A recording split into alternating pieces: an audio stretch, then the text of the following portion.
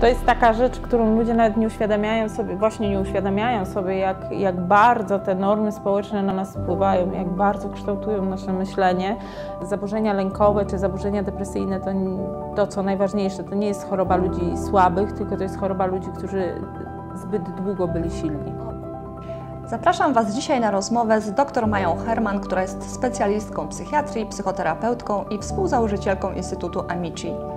Poruszymy dzisiaj tematy dotyczące zaburzeń lękowych, zaburzeń obsesyjno-kompulsywnych i ataków paniki. Powiemy Wam, jak radzić sobie, jak podnosić samoocenę i nie bać się psychoterapii oraz leków. Zapraszam.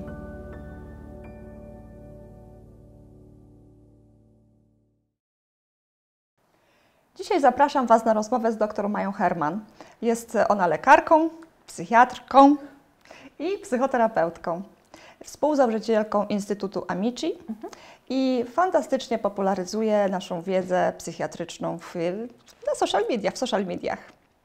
Dzisiaj, Maju, chcemy porozmawiać o zaburzeniach lękowych, o fobiach społecznych, mhm. pewnie trochę o stresie pourazowym, bo teraz się obawiamy właśnie tego zespołu stresu w czasie pandemii. Mhm. Powiedz, czy Ty zauważasz y, obecnie w tej sytuacji, w której wszyscy jesteśmy, zwiększone nasilenie lęków u pacjentów? Tak, zdecydowanie tak i to przede wszystkim e, możemy mówić o atakach paniki. To, to jest taka sytuacja, która wcześniej nie, nie była w takim natężeniu, w takim nasileniu, a w tej chwili te ataki paniki są bardzo, bardzo e, częste i to szczególnie u mężczyzn, młodych mężczyzn, e, i to oni najbardziej są. Chciałabym powiedzieć słowo, użyć słowa beneficjentem, ale nie wiem, czy, czy to odpowiednie słowo w tym, w tym wypadku głównie mężczyźni się teraz pojawiają i to z atakami paniki. Natomiast y, tak y, z mojego pola pracy jako terapeuta widzę, że mężczyźni to akurat boją się przyjść na terapię, rzadziej chodzą niż kobiety. To jak sądzisz, oni przychodzą, bo są tak już przerażeni tym atakiem paniki, czy właściwie ktoś im mówi idź do psychiatry, idź sobie porać, weź leki, jak to jest? I to, i to. Oni e, z jednej strony, e, z jednej strony właśnie są tak bardzo przerażeni, no bo atak paniki sam w sobie jest tak straszny i tak przerażający, że powoduje, że, e, że człowiek nie wie, co się z nim dzieje, a właściwie ma takie poczucie, że umiera, albo że mówiąc kolokwialnie, zaraz zwariuje, tak. albo zaraz oszaleje i będzie musiał trafić do szpitala psychiatrycznego. Więc to jest taka sytuacja bardzo nagła, bardzo ostra i taka w psychiatrii, no, przez nas psychiatrów i psychiatrii lubiana, bo pacjent się wtedy łatwo zgłasza, chętniej się zgłasza Aha. wtedy. E, oczywiście też e, związane jest to z, zgłaszalność też jest związana z bliskimi, bo bliscy też, e, no, jeden atak, dobra, uspokoję, jakoś pomogę. Drugi atak, trzeci atak, czwarty atak, no ale ile można tego bliskiego uspokajać, więc i to, i to. Z jednej strony sami się zgłaszają, a z drugiej strony e, wolą, e, a z drugiej strony ktoś im e, pomaga przy tym. Chodź, kochanie, tutaj. Mm, bliscy też nie zawsze wiedzą, jak sobie radzić e, z atakami paniki, ponieważ one są często mylone z zawałem serca. Może też e, warto, żebyśmy powiedziały, jak mniej więcej wygląda taki atak paniki, prawda? Czym się charakteryzuje. Tak? Bo mamy kołatanie serca, mamy bezdech. Kołatanie serca, czyli takie poczucie, że to serce strasznie mocno i bardzo Właśnie. szybko bije, że jest właściwie. E, mamy takie wrażenie, że to serce bardzo szybko i mocno bije, że właściwie jest nie do opanowania, że zaraz nam nawet mówiąc kolokwialnie, pęknie, że e, oblewają nas poty, tak. bo to też się dzieje, bo to nie tylko to, że psychicznie wydaje nam się coś, ale też oblewają nas poty, mhm. e, zaczynamy czuć mrowienie, dziwne mrowienie w dłoniach, w nogach. Pacjenci często mówią, że tak jakby odbierało władzę w rękach i w nogach.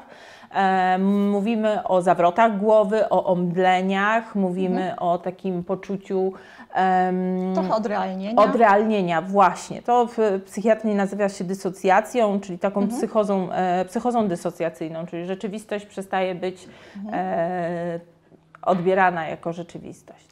No właśnie i też jest taka spastyczność mięśniowa, bo zaciskają się wszystkie mięśnie na skutek tak. niedotlenienia. Dlatego, że też e, wtedy taka osoba cierpiąca na atak paniki nie może złapać głębokiego oddechu.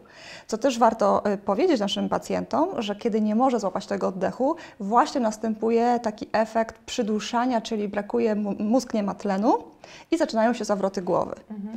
Ja też swoim pacjentom często mówię, bo, bo, bo o to pytają, czy można od tego umrzeć. To jest bardzo częste pytanie. No i ja e, wszystkich pocieszam, że tak naprawdę dotąd nie zdarzyła się taka sytuacja, żeby atak paniki wywołał śmierć. To w sumie szczęśliwie jest niemożliwe. I myślę, że to bardzo pociesza naszych pacjentów, że to jest taki kierunek, nie martwcie się, nic się takiego nie zadzieje. I, nie, I, to, że boli w klatce piersiowej, to tak naprawdę często ten ból jest właśnie na skutek tego, że te spastyczne mięśnie klatki piersiowej nie rozszerzają się wystarczająco, więc zaczyna się kłucie takie nerwobólowe w klatce piersiowej, co często jest mylone z efektem zawału. Dodatkowo warto podkreślić chyba też to, że boli nas po lewej stronie, natomiast y, przy zawale serca wcale nie ma bólu po lewej stronie, czyli tam, gdzie serce, więc to też jest dosyć ważna informacja, bo boli nas raczej po środku, prawda? Jest taki efekt trochę pieczenia i raczej mamy efekt po środku bólu serca niż w tej części typowo lewej, jak przy atakach paniki.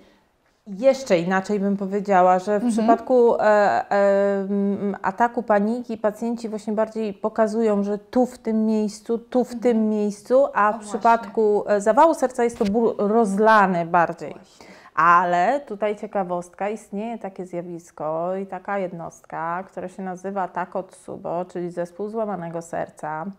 I polega to na tym, że w bardzo silnych emocjach, najczęściej spowodowanych, no troszkę czymś innym, bo najczęściej jest to spowodowane na przykład zawodem miłosnym, złamanym sercem, porzuceniem przez kogoś albo zdradą przez kogoś, y, serce mm, przestaje pracować w sposób prawidłowy. No, mówi się o tym złamanym sercu, czyli ten mięsień sercowy nie pracuje w sposób prawidłowy.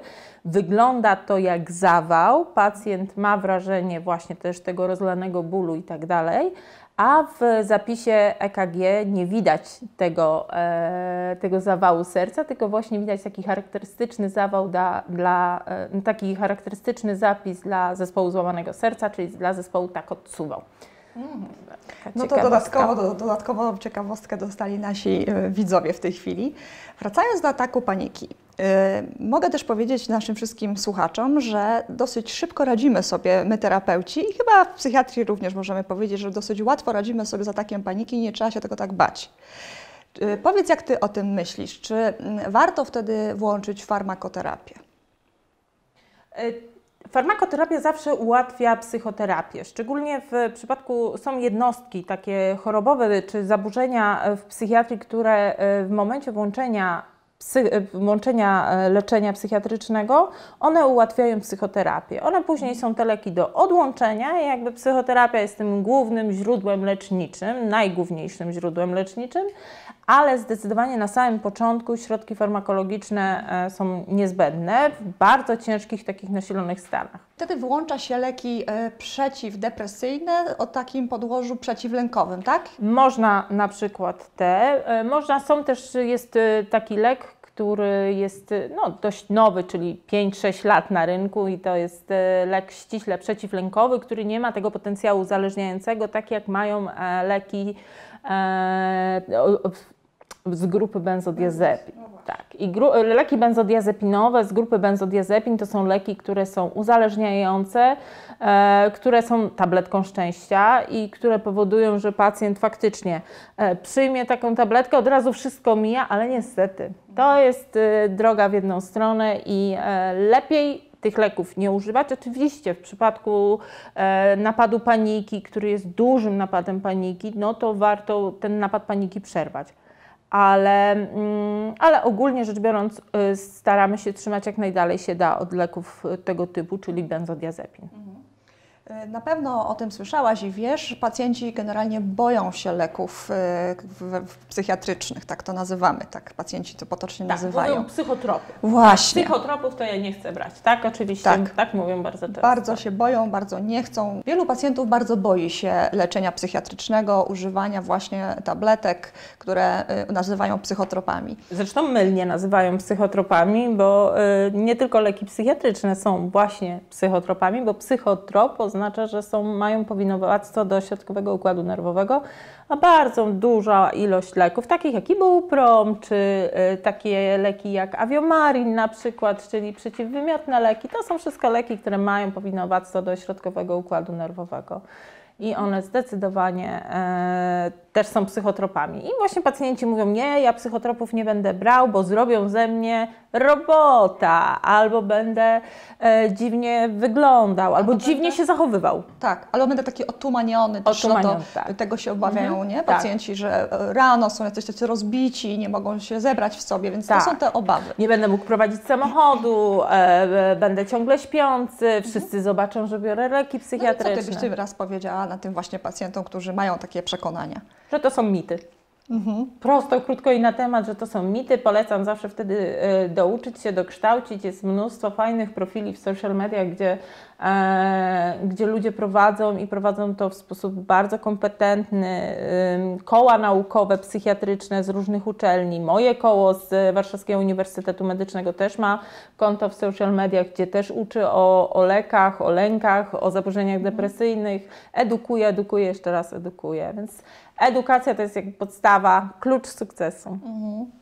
No właśnie, czyli jednym słowem możemy powiedzieć, nie bójmy się włączenia leków, y, które będą oddziaływać przeciwlękowo, przeciwdepresyjnie, bo to są w sumie podobne te ścieżki w neuroprzekaźnikach naszych, więc jak sobie pomożemy, to też łatwiej będzie wprowadzić zmianę przekonań na przykład myślowych, tak, prawda? Tak, będzie zdecydowanie to lepsze, a potem leki są do odstawienia i sama już ciężka praca psychoterapeutyczna. A no właśnie. I tutaj pomału y, chciałabym też w tą stronę z Tobą y, przejść, ponieważ ataki paniki, generalnie wszystkie zaburzenia lękowe mają swoje podłoże. I jak my się tak przyglądamy, tak, skąd one się w ogóle biorą, no to widzimy, że tych pod, te, jakby przyczyn zaburzeń lękowych, czy w ogóle lęku jako odczuwania takiego codziennego stanu, no to możemy znaleźć kilka, prawda? Mogą to być te genetyczne, te doświadczenia wynikające z przekazów rodzinnych, ci przelęknieni rodzice, ta lękowa mama, która swojej córce albo synowi przenosi te wszystkie, ale uważaj, ale uważaj, ale nie dotykaj, a może nie rób tego, tak? Czyli dziecko wyrasta w tych wszystkich doświadczeniach, słyszy to. Zresztą też jest tak, y, że nawet jak nie ma tych przekazów wprost, to taki przelękniony rodzic z taką ciągłą energią, prawda? Tak, to jest właśnie najczęstsze, co jest, bo e, rodzice mówią, ale ja wcale się niczego nie boję, ja wcale nic nie przekazuję mojemu dziecku takiego. Ja przecież mu nie mówię, e, nie pokazuję mu, żeby się nie bało, żeby się, że to jest jakieś straszne, albo nie pokazuję mu, że to jest niebezpieczne. Absolutnie nie robię takich rzeczy. No, a tak jak ten śliczny, uroczy piesek, tak naprawdę przecież też ona nic nie chce oprócz tego, żeby ją głaskać po głowie. E, no to tak samo robią e, rodzice, że niby nic nie robią, ale tą rękę tam podbijają temu dziecku, żeby nie dotykało tego ognia i żeby, żeby było z daleka się trzymało, bo przecież może się coś e, zadziać.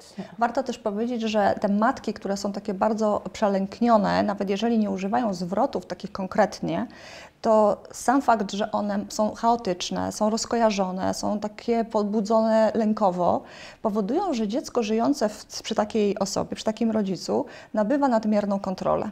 Prawda? I ono cały czas próbuje być dorosłym w- Mówisz o parentyfikacji teraz, no tak? właśnie, czyli mówię o takiej sytuacji. Mhm. mówię o takiej sytuacji, w której wyuczona na- jest taki wyuczony schemat kontroli, czyli pozornie dziecko staje się coraz bardziej dojrzałe i dorosłe, nawet mm, jakby zastępuje w tej roli rodzica swojemu rodzicowi i potem w dorosłości może cierpieć właśnie na zaburzenia lękowe, które są przykrywane nadmierną kontrolą. I mamy do czynienia na przykład z taką silną bizneswoman, na przykład. Prezentacja jej jest taka, nie, że to jest kobieca taka twarda, łapka, Albo silnym policjantem na przykład. na przykład. Mhm. I Bo wiemy, to że dwie strony działa właśnie. na dwie płcie. I tu może być taki moment, że ta osoba przyjdzie do naszego gabinetu, bo ma ataki paniki i ona nie wie, co się dzieje. Przecież zawsze sobie radziła. Właśnie tak. Zawsze sobie radziłam, zawsze byłam najsilniejsza, zawsze naj, najsprawniejsza, ja wszystkim doradzałam, ja wszystkim pomagałem, a tutaj coś się ze mną dzieje i teraz jestem słaby, teraz jestem słaba. No, przede wszystkim to trzeba powiedzieć, że zaburzenia lękowe czy zaburzenia depresyjne to, to co najważniejsze, to nie jest choroba ludzi słabych, tylko to jest choroba ludzi, którzy zbyt długo byli silni. O właśnie. I to zbyt długo i zbyt dużo niesienie na swoich barkach, zbyt dużej ilości rzeczy, które y, kompletnie nie powinny być niesione, czy to przez dziecko, czy to później w wieku e, dorosłości, w dorosłości, no, powoduje, że niestety no, coraz bardziej nas przygina, przygina, aż nas ugina całkowicie. Tak. I to nie jest oznaka słabości, tylko wręcz, Wręcz odwrotnie. Tu widzimy takich pacjentów z nadmierną odpowiedzialnością, Mhm. tak? z wysoką bardzo samokontrolą, typy prymusów szkolnych, osób, które chcą Takich zadowolić wszystkich. pedantycznych, poukładanych. Wszystko musi być według schematu, bo jak nie jest według schematu, e, ja użyłam słowa pedantyczne, ale oczywiście w psychiatrii czy psychologii Tak. mówimy o anankastie, Tak. czy anankastce. E, czyli takiej osoby, która musi być bardzo poukładana, musi mieć wszystko poukładane i tak dalej, i tak I dalej. wszystko pod tą kontrolą I właśnie. wszystko pod kontrolą. Nie może być, że Nie, kubeczki nie, nie. są w jednej linii, tylko będzie co chwilę Musimy wyprostować, tak, o. żeby było dobrze i żeby na pewno pasowało. Oczywiście e, dla pracodawcy cechy Anankasty to, to są najlepsze cechy, oczywiście jeżeli nie, przy, prze, nie przekraczają tego, e, tej takiej magicznej e, strefy zaburzenia, e, zaburzenia, tylko zostają w ramach osobowości, no to Anankasi to są jedni z najlepszych, najlepszych pracowników, bo oni pracują skrupulatnie, e, wykonują swoje zadania Obowiązkowi, sumienni. nie spóźniają się, wszystko jest idealnie, więc jako pracodawca uwielbiam takich ludzi, e, ale z drugiej strony to są osoby, które ze względu właśnie na tą taką nadmierną kontrolę bardzo cierpią. Bardzo. Nie to, żebym miała jakieś poczucie kontroli, ale znikła mi z oczu, a dobrze, już wszystko jest w porządku. Wszystko jest w Wszystko jest. porządku.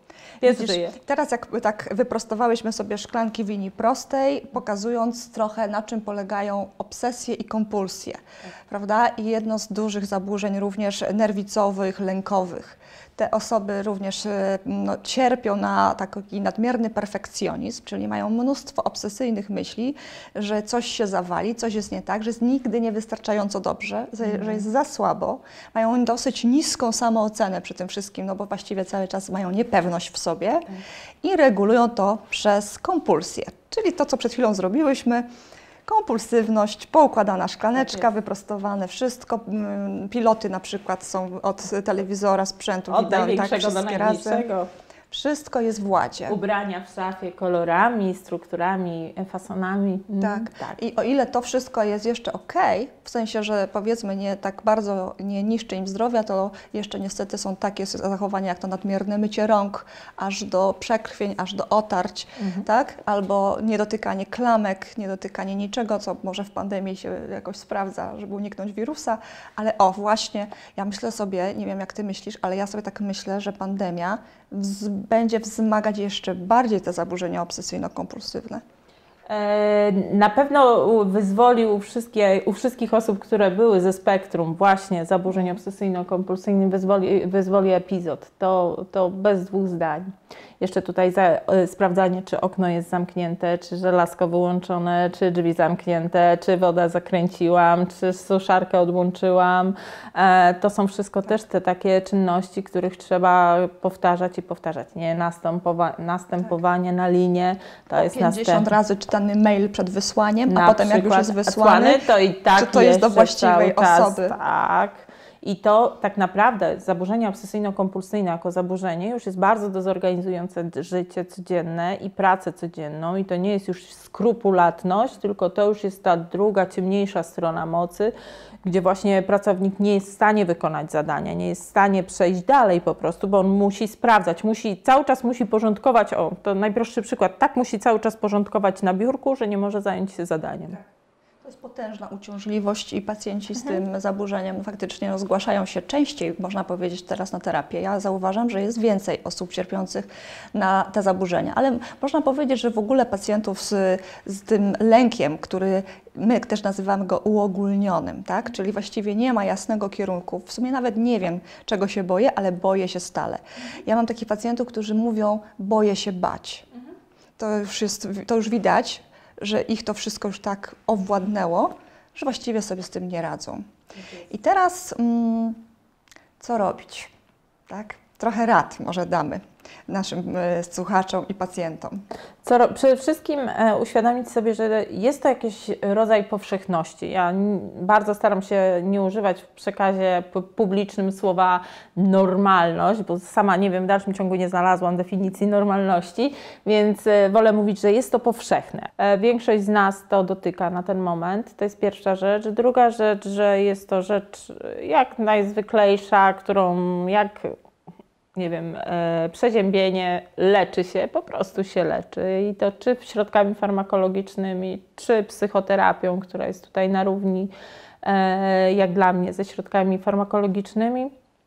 To druga rzecz, a trzecia rzecz, że jest wyleczalne i że można sobie z tym poradzić i, e, i że można się nauczyć, jak omijać te, te sytuacje i jak robić tak, żeby było dobrze. Właśnie, bo y, pacjenci myślą, że coś z nimi się dzieje niedobrego, że, że w ogóle chyba jakąś chorobę psychiczną mają.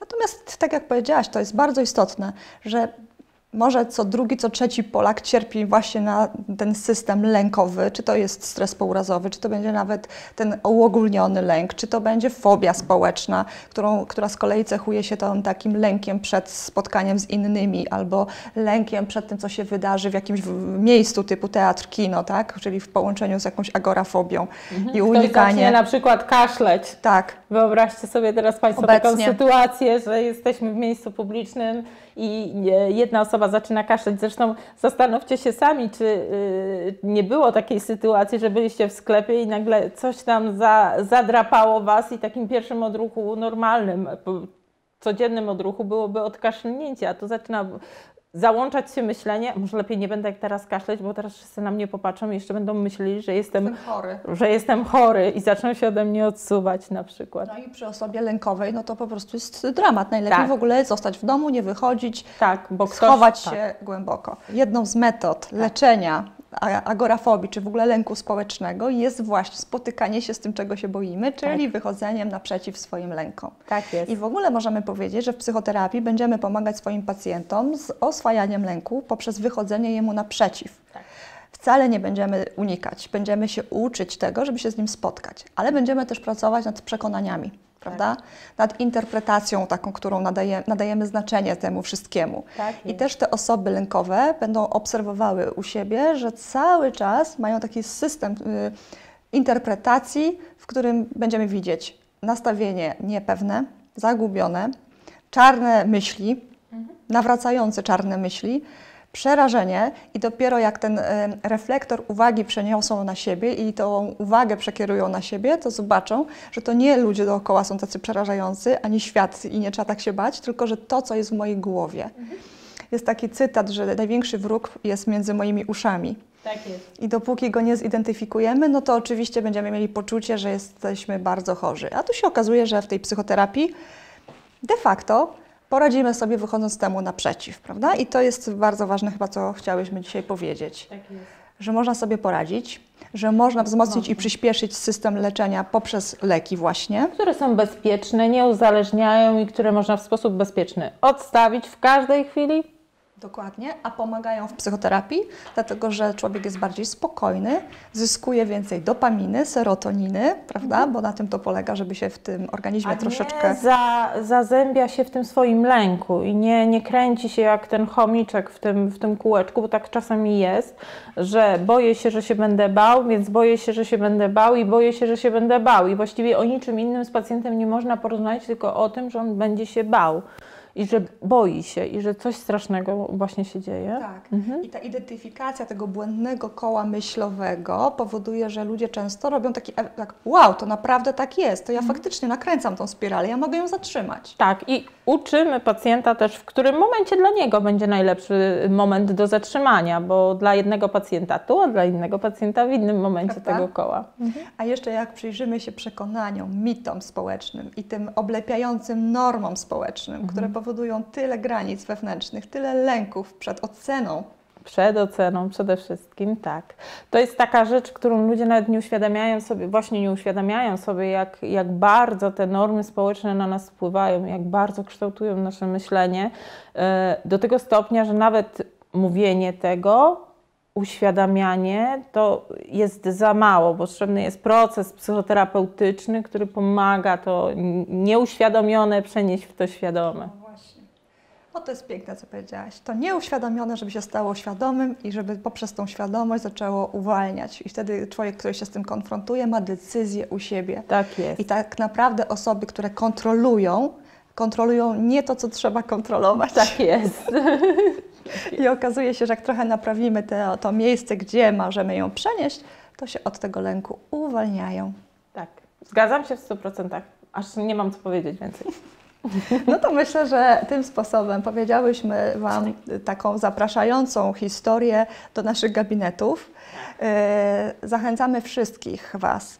Nie bójcie się bać, po prostu przyjdźcie, opowiedzcie swoją historię, a pokażemy Wam, że nie warto żyć w tych lękach, które tak naprawdę rosną cały czas w naszej głowie, a kiedy rosną, to wydaje nam się, że nas pokonują. A to my możemy pokonać tego wroga między swoimi uszami. Bardzo dziękuję Maju za rozmowę. Dziękuję również, było mi niezmiernie miło. miło. Mój piesek y, również jest zadowolony z rozmowy. Tak. Myślę, że też dużo wyniosła. Miejmy nadzieję, że się nie bała, tylko miała się z nami dobrze. Nie, bardzo dobrze. Ona to zadowolona, krąży, już czuje się jak u siebie w domu tutaj. Tak, zdecydowanie. Tak? To twój gabinet? Tak? Dobrze. Będziesz tu pracować? Dobrze. To jeszcze raz dziękuję Majo za nasze spotkanie. Naszym gościem była Maja Herman, Ja psychoterapeutka i psychiatrka.